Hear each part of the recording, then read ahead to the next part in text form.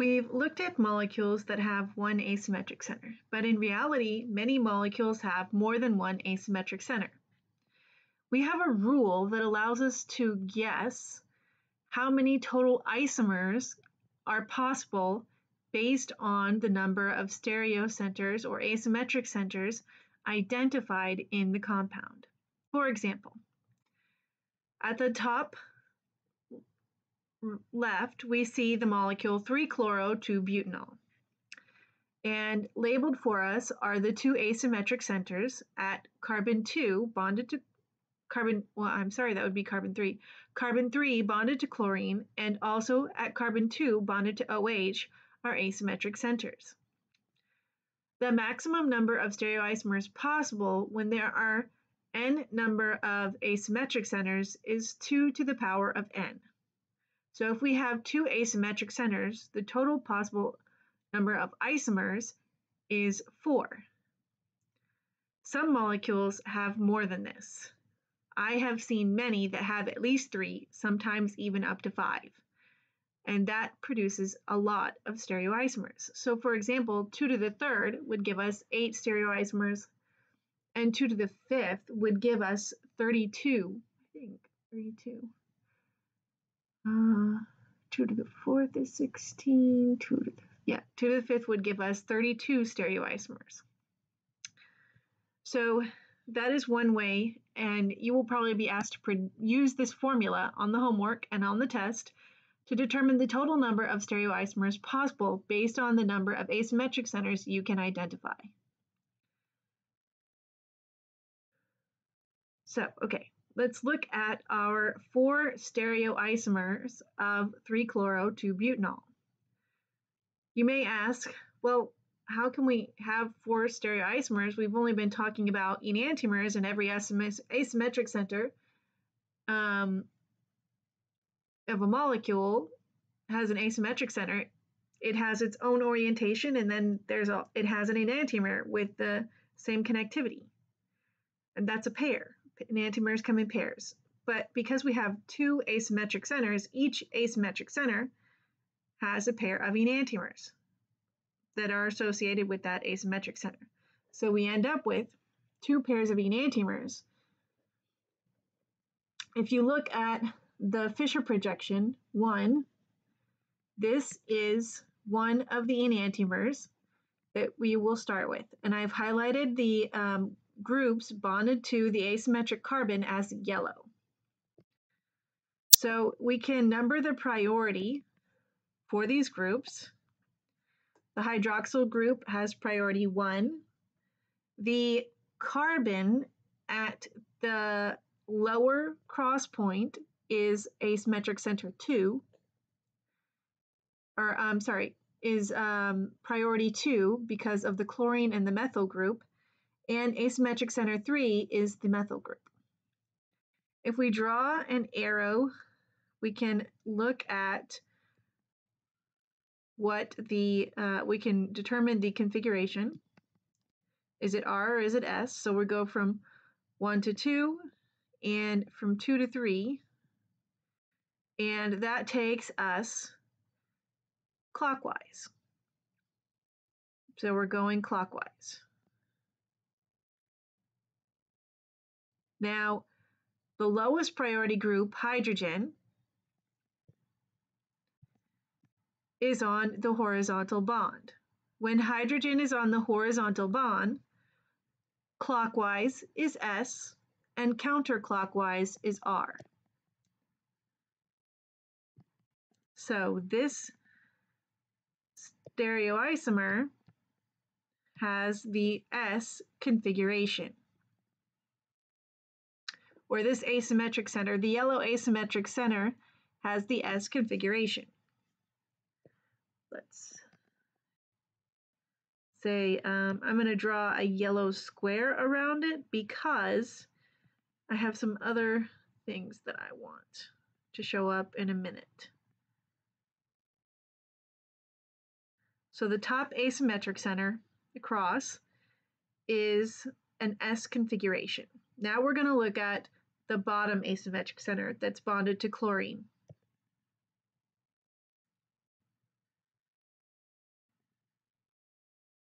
Okay, so I've highlighted the atoms bonded to the second asymmetric center in green. Those are the four different groups. We have a chlorine group, a methyl group, the group represented by the top asymmetric center in yellow, and a hydrogen. The highest priority group is the chlorine. Next is the top asymmetric center, that's 2, and then the methyl. I've drawn in the blue lines showing that this asymmetric center is going from 1 to 2 to 3 in a counterclockwise direction. That means that this bottom asymmetric center has a configuration of R. Once we have identified the configuration of the asymmetric centers on the Fischer diagram of one of the enantiomers, we will know the, the orientation of the asymmetric center at all of the other um, enantiomers. And so, and all of this four stereoisomers. So for example, when we have hydrogen on the top asymmetric center, when hydrogen is on the left and OH is on the right, the asymmetric center will be S configuration. So isomer 3 or stereoisomer 3 has the S configuration at that top asymmetric center. Stereoisomer 2 has the reverse configuration. Instead of the hydrogen being on the left, it's on the right.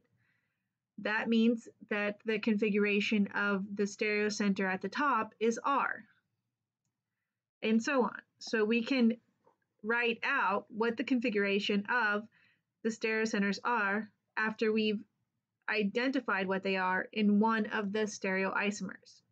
Once you know what one of the stereoisomers are on a Fischer, Fischer diagram, you can label all the other stereocenters.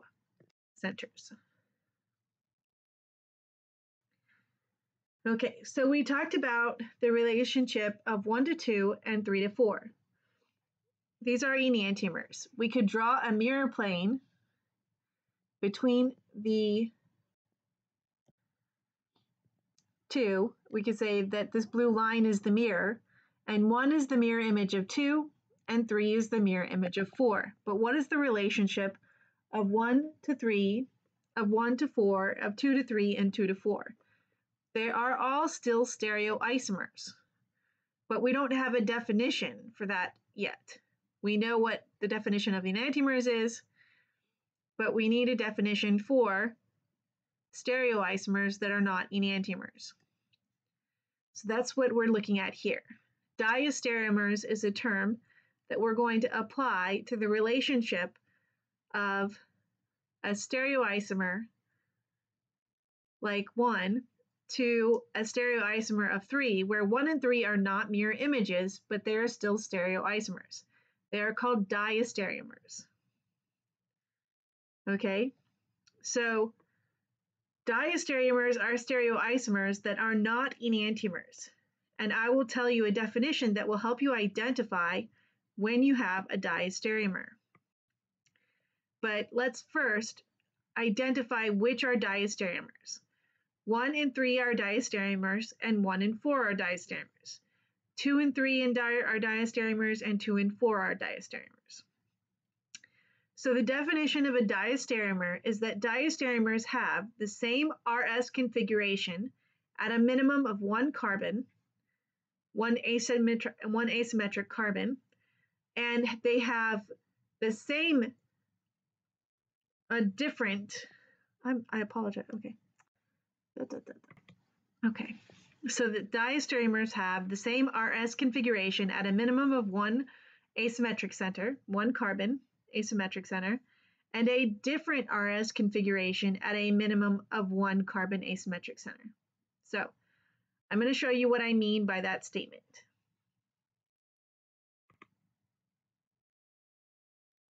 Now I've added stars by the carbon to indicate that I mean an asymmetric center. All right, so looking at one and three, we have the same RS configuration shown by the blue highlight. So at the top asymmetric center, bonded to OH, we have the same configuration, H on the left and OH on the right in 1. And in 3, H on the left and OH on the right. They are the same. So they are both S. But, so they have the same RS configuration at a minimum of one carbon. Next, comparing 1 and 3, the second stereocenter have has different configuration. The stereo stereocenter bonded in uh, at, to chlorine at the bottom has hydrogen on the left and chlorine on the right. But in 3, chlorine is on the left and hydrogen is on the right. So they have a different RS configuration at a minimum of one carbon. Same on the top, different on the bottom. That is a diastereomer. And so I've gone through and highlighted each stereocenter that has the same configuration. Two and three are stereocenters having the same configuration at the OH, but a different, I'm sorry, two and four have the same configuration at the OH, showing in the common yellow color, and a different configuration at the chlorine carbon which is showing different colors, purple and green. Two and three are uh, diastereomers having this same configuration at the purple and a different configuration at the top, which is blue contrasting with yellow. One and four are diastereomers. They have the same color at the bottom asymmetric center, both green, and at the top, we're comparing the top with H on the left to 4, which has H on the right, and the colors differ. So they are diastereomers because they are the same at one car asymmetric carbon, but different at the other asymmetric carbon. Unlike enantiomers, diastereomers have different physical and chemical properties. So they'll the relationship of enantiomers 1 to 2 is that they have the same boiling point, the same melting point, and the same solubility. The relationship of 1 to 4 is that they do not have the same boiling point, they do not have the same melting point, and they do not have the same solubility.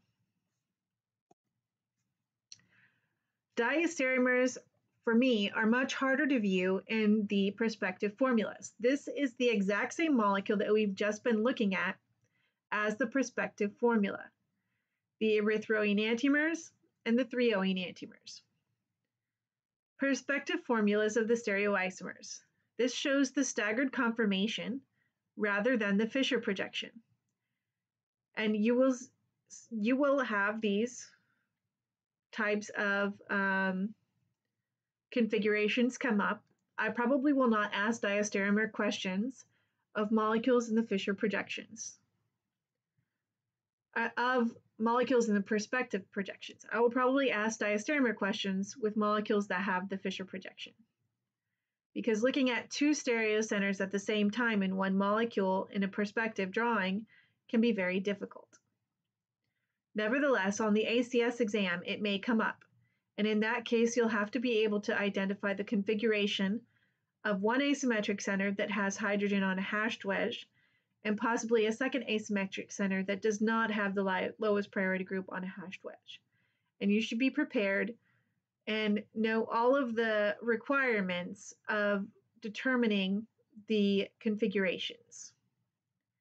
So um, with hydrogen on the hatched wedge, I can either rotate the molecule or I can um, exchange the lowest, the hatched wedge chlorine with the um, solid wedge hydrogen, and then realize that whatever uh, I come up with, R or S, for the switch will be the opposite for this original molecule. If I do the rotation in my head, what happens is if I rotate around this bond, until hydrogen is in the back. The first rotation brings this carbon to the position where hydrogen is and chlorine um, onto this solid in plane wedge. If I rotate it again, oh, I don't need to rotate it again. The first rotation brings this carbon onto the solid wedge, the hydrogen onto the hatched wedge, and chlorine onto this solid wedge. So then this would be chlorine, this would be the carbon, and and the hydrogen would be over here. So if I did it that way, where this is the chlorine and this is the carbon, then I would have one, two, three. Anyways, okay, so if we rotate it, what we get is, and I'm, I'm going to be, um, I'm going to cheat. Okay, so you don't always have to draw out the whole thing when you rotate it. You can assign colors like yellow, red, blue, and green. And then redraw the carbon in the new configuration. So what I've said is if I rotate it until the hydrogen is at the back, the methyl group stays where it is. So blue stays where it is. Then the hatched wedge becomes hydrogen, green,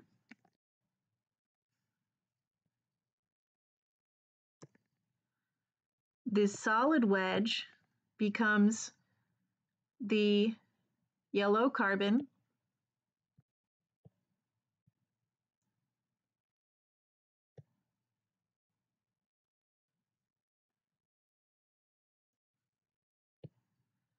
and the straight line to the side wedge becomes the chlorine in red.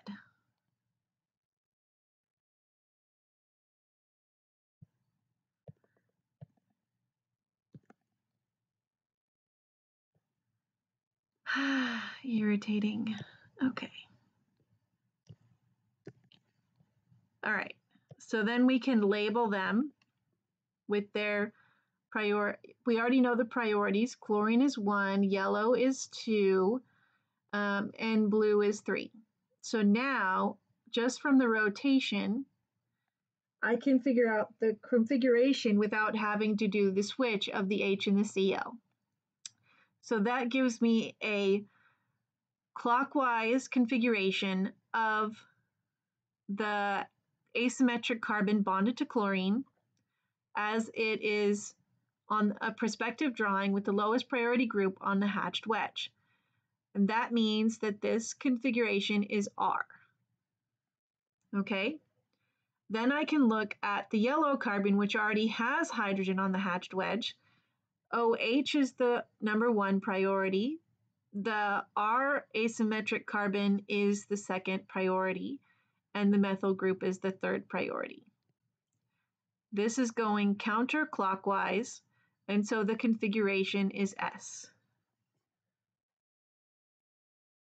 Okay, looking at two asymmetric centers and four stereoisomers with a ring.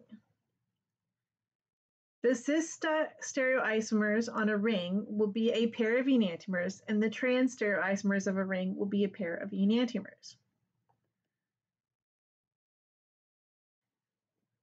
If we define diastereomers as having one asymmetric carbon in the same and one different, we can highlight all of the stereocenters that are the same in one color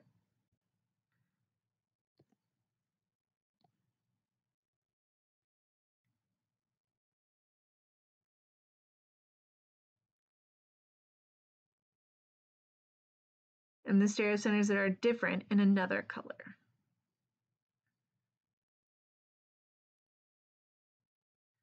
Yeah.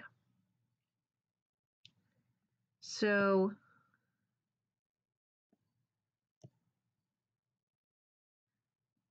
if I were to flip this over, I would have I don't need to flip that one. Okay, never mind. I'm going to flip the last one, this one. If I flip this one over, then I get bromine on a hatched wedge and methyl on a solid wedge. Just from turning it over. Okay, so then that tells me that this asymmetric center is the same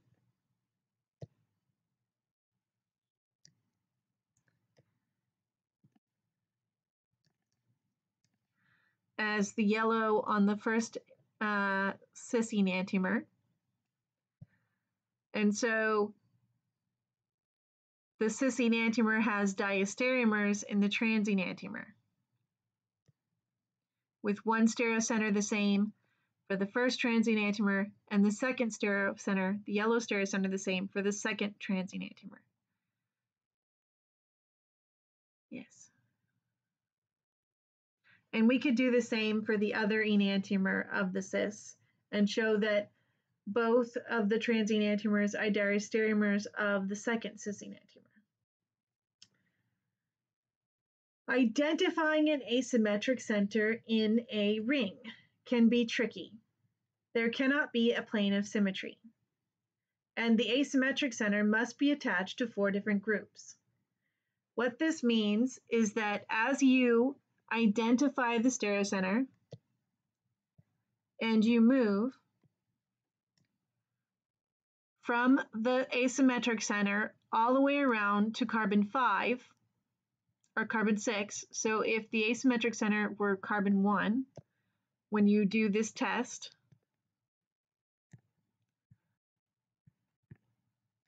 as you move clockwise around the ring, the arrangement of bonds, the order in which the bonds appear, cannot be identical to the order in which the bonds appear as you move counterclockwise around the ring.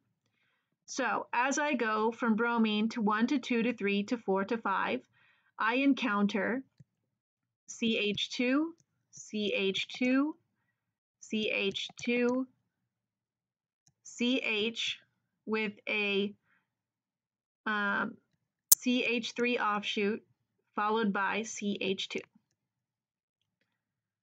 That is the picture as you go clockwise.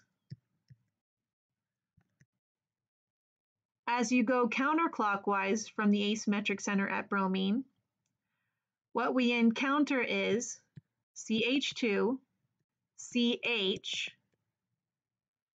bonded to CH3, then CH2, CH2,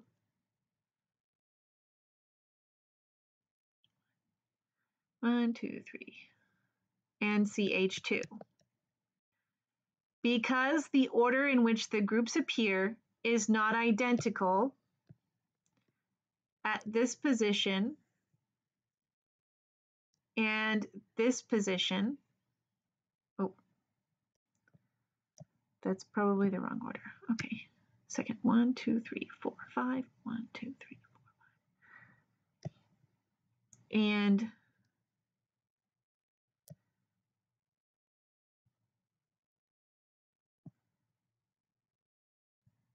this position. The asymmetric center, the, the carbon is an asymmetric center because they are two different groups in the way that they are written. They do not look identical at the second position as you move clock the second position as you move clockwise is different from the second position as you move counterclockwise and the fourth position as you move clockwise is different from the fourth position as you move counterclockwise. Therefore, the two groups are not identical. So we have two asymmetric centers in this cyclohexane and four stereoisomers total.